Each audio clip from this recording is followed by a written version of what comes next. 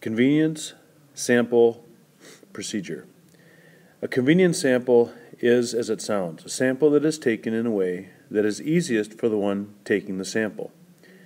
Unfortunately, this is the way most samples are taken. And I say unfortunate because a convenience sample is more inaccurate than most.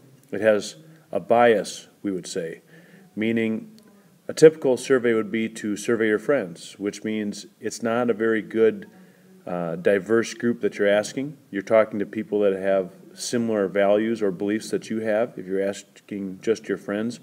So it's not a very random survey at all. But nonetheless, that is the most common. So a procedure that could be used for convenience is again, in fact, one that is simplest for the one giving it.